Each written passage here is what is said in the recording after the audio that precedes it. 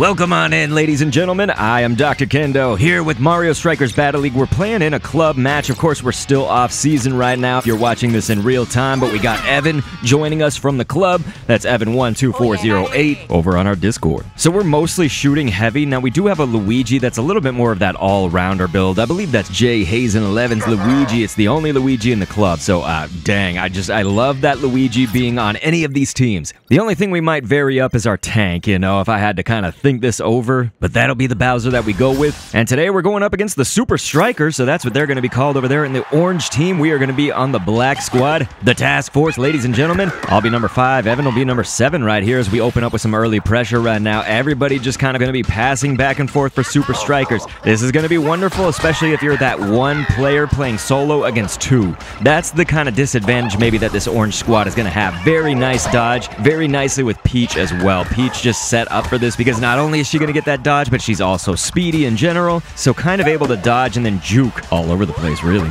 But like I say, when you know, when you've got two people, you obviously have two heads, hopefully better than one. Sometimes somebody might prefer to have a lot more of that control. Like, you know, I guess if you're with another player, there might be a lack of control that you feel if someone, say, switches to the character that you were thinking about switching. And look at this, Super Strikers on that first goal of the match in 40 seconds with all of those toads right here. They're celebrating. The toads are bouncing around, ladies and gentlemen, so that task force, the onus is now on them to just kind of pick this up. Again, this is sort of all early standings, though, right now, as we're just about to hit that three minutes on the clock right here. Plenty of time to score, of course, for either team. So, will the Super Strikers widen that score gap, or will the task force come out with this? It looks like a few of those tackle attempts just going to be much too far off, you know, so definitely not going to hit with those tackles, but Looks like we got a strike orb on the field, a nice little juke, then maybe an inadvertent team tackle. Not sure about that, but it looks like right now we got me, Dr. Kendo. That's player five right here, trying to set up for the hyper strike, and it looks like it will be actually disrupted right there. Kind of a little bit brazen to be doing that right in number one's face. We did knock out some of the other players. We used the red shell and everything, so that will actually use up our orb.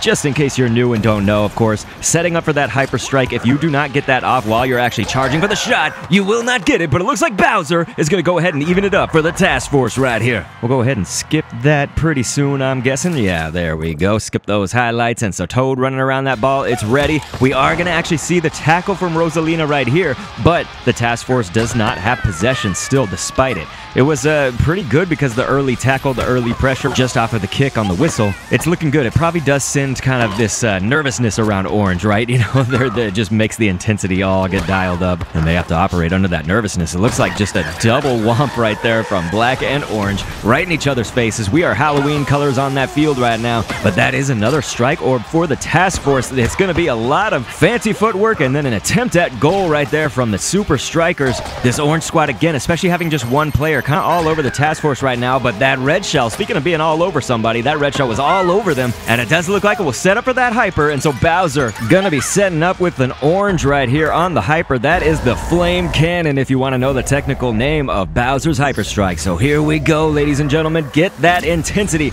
Dial up the heat. Wait, should it be get that heat, dial up the intensity maybe, but it looks like the task force, we are in deflection position right here, and that's gonna be perfect because Rosalina go ahead and score that off the deflect and gain the lead.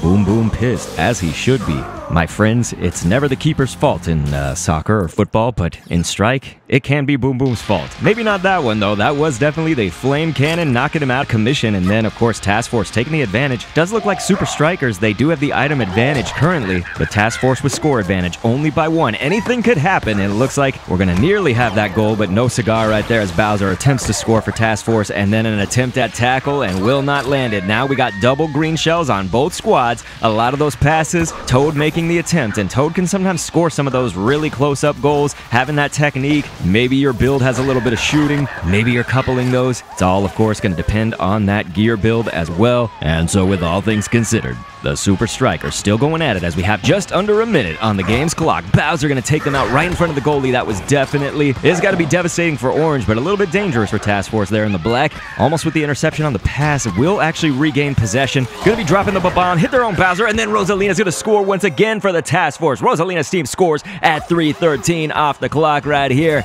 Rosalina going to float to the heavens and tell all the angels about that one. So, Now she's back with that bomb right out the gate. My friends, this is just devastating. Look at those tackles and then that pass to the open player. Rosalina sends it home with that combo shot. That is what you want to see right here.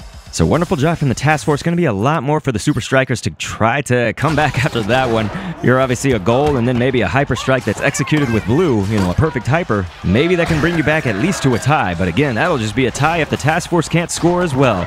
Now we got about 25 seconds on the clock, and there's just a little bit more fancy footwork from Orange. They will pass that all around, ultimately to lose possession right here to Black. So Task Force right now does look good. There is a strike orb on the field, and it does look like Orange actually can secure that. Now we only have 10 seconds left. Will they pull this off? There's going to be the tackle, though. Black with that Task Force, I don't think they want this to happen, right? So clearly they are not. Well, we do have a second left. That one second right now will actually yield to the Hyper Strike. It is fine, ladies and gentlemen. You are going to actually see the orbital burst go down right now from Rosalina, that Hyper Strike, and I believe that was double blue, so that should be perfect for the Super Strikers, but I'm sure many of you noticed that our score with 1 to 4, it will not matter. Though it is a perfect Hyper Strike that's unstoppable, the Super Strikers will go ahead and gain two more points for a score of 3, and of course, to that four. So that is going to be the final whistle, and the task force, it says that they win by a hair, but hey, I mean, task force really dominating that match for most or the entirety of that match, really, until that last second, of course. So wonderful job. The winners are going to be the task force there with four to Super Strikers in that three. Go ahead and feel free to click an end screen on screen to see another one, but also if you have recorded footage, let me know. I'd love to commentate over your matches, and thanks for viewing.